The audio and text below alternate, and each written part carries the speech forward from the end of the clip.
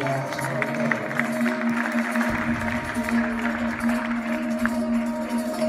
long shall it take a man